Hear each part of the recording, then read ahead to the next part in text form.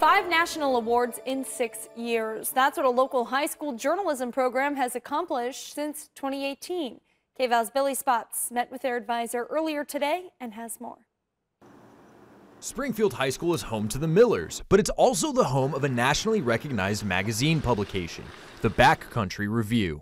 The National Scholastic Press Association um, has uh, what they call Pacemaker Awards, and that's for best news magazine, best newspaper, best yearbook, um, online publication, and then they have a specialty magazine category. The magazine itself consists of profiles on people from all over, including surfers, hikers, rock climbers, and more, with a primary focus on the outdoors. The awards are great, but really seeing the kids open up the magazine when it's finished and thinking about when they started, um, that's the most fulfilling part, just watching them grow as humans. His students say he still enjoys seeing the awards stack up. He pulls up the website, he scrolls down, and then he goes outside and, and screams. he was really excited. He just goes out there and just, ah.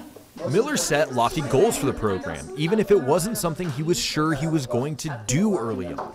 I stumbled into the advisor role, uh, and I told the kids the first day, my very first group, uh, that we were going to have one of the best programs in the state. And they hit the ground running, garnering local attention early on, but that only made his students hungrier.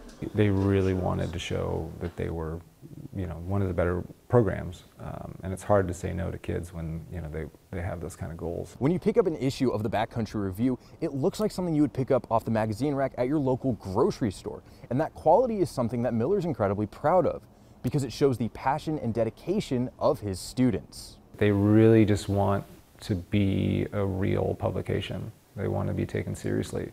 And I think that's a testament to young people right now, that they are capable of really incredible things. Many of Miller's students have gone on to pursue journalism in college and beyond, an influence that's still being felt with his current group of students. I definitely want to do it in college. Um, I want to do kind of what you're doing actually. I want to work for like a news station or a publication. I just think like this experience that I'm having now, I'm really enjoying it and I want to continue that when I'm older. Reporting in Springfield, I'm Billy Spotz. Well, last year these students published not one but two editions of the Backcountry Review. A link to the most recent editions and previous ones can be found on our website.